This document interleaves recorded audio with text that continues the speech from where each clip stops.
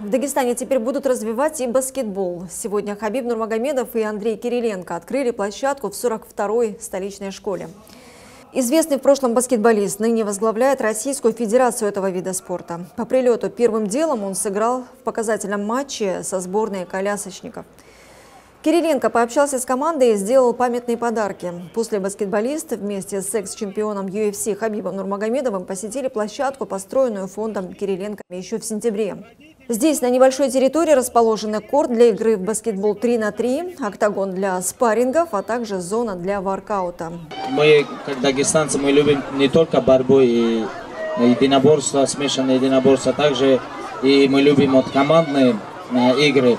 Если у нас будет развиваться этот э, вид спорта, я считаю, что мы можем достигнуть успехов, больших успехов в этом виде спорта, потому что даже вот здесь фотка есть, как двое играют в баскетбол, это тоже единоборство. Смотрите, они борются за мяч, а бороться мы умеем.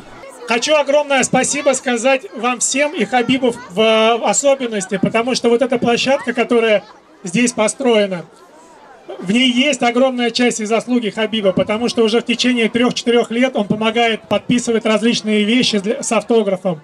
Мы их продаем, и, естественно, на эти деньги есть возможность строить такие великолепные э, площадки.